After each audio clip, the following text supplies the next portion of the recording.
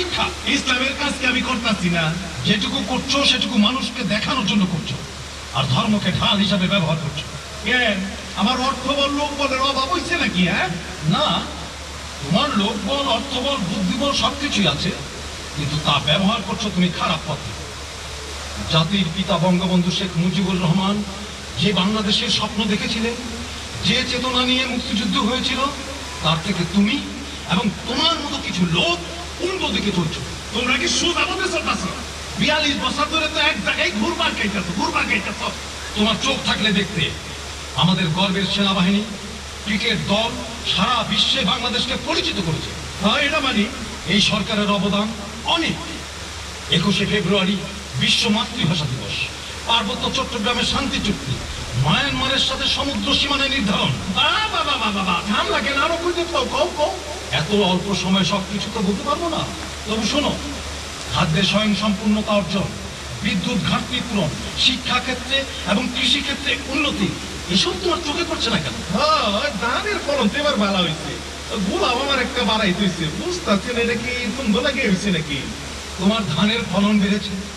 জাতীয় আয় বেড়ে এখন হাজার ডলার ছাড়িয়ে গেছে। বৈদেশিক মুদ্রা রিজার্ভ এখন সর্বকালের সর্বোচ্চ। ইনশাল্লাহ আগামী সাত বছরের মধ্যে আমাদের দেশ একটি মধ্যম আয়ের দেশে পরিণত হবে। বালা খুব বালা। শোনো হ্যাঁ? বাংলাদেশ এখন পৃথিবীর অনেক দেশের কাছে উন্নয়নের রোল মডেল তাই বলছি, এসো, আমরা সবাই মিলে দেশটাকে গড়ি। সাহেব, আপনার বাড়িতে বিভিন্ন ধরনের অস্ত্র ও মাদকদ্রব্য পাওয়া গেছে। তাছাড়া হিন্দুদের উপর হামলা করার জন্য আপনাকে গ্রেফতার করা হলো। কত একদিন পামই শামসু, তোমার ডিজিটাল কলা কৌশল আমি ধরা আমি নিয়ে হ্যাঁ দিন বদলাচ্ছে। দেখো? অন্ধকারের বুক চিরে নতুন সূর্যের আলো ফুটে উঠেছে। শুরু হয়েছে মাটি, মানুষ আর লাল সবুজ পতাকার নতুন যাত্রা। মাননীয় প্রধানমন্ত্রী জাতির পিতাকে প্রতিশ্রুতি দিয়েছেন। তার স্বপ্নের সোনার বাংলা গড়ে তুলবে। দেশ গড়ার এই অভিযাত্রায় আনসার ভিডিপিও সহযাত্রী সফল হোক এই অগ্রযাত্রা। হ্যাঁ সফল হোক